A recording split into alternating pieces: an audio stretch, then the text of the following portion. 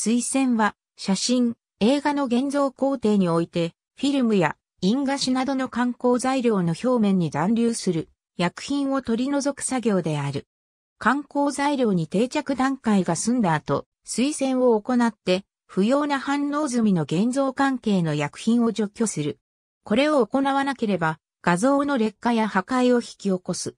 チオ硫酸紙を定着液として使用することの欠点は、非常にゆっくりと金属銀を可用化するその能力にある。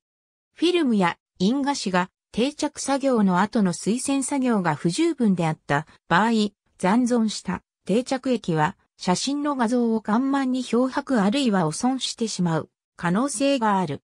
高級な印画紙への焼き付けでは、清潔で低温の水で水栓作業をする時間は40分程度は必要とされる。現行のプラスティックコーティングされた印画紙であれば、温水で2分足らずの水栓作業で残存する定着液を十分に除去できる。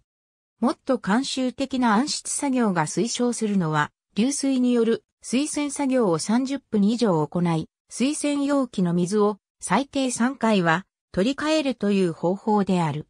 現像タンクを上下を逆にする作業を繰り返しすべての水を入れ替える方法で、水温摂氏20度で1時間は水栓が必要であるとも言われる。ただし、無光膜タイプ定着液を使用した時には、その必要はない。過剰な水栓は、実際には、フィルムの保存性を低下させることがある。ごく低濃度のチオ硫酸塩は、フィルム画像の安定化に寄与することが示されている。現像タンク。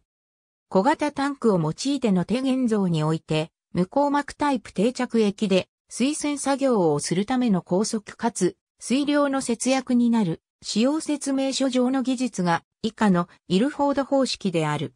水栓促進剤は定着液を除去する作業を加速し、より完璧にするために使用される。方法は以下の容量である。使用済みの水栓促進剤は青色の液体が無色になるまで使用可能である。ありがとうございます。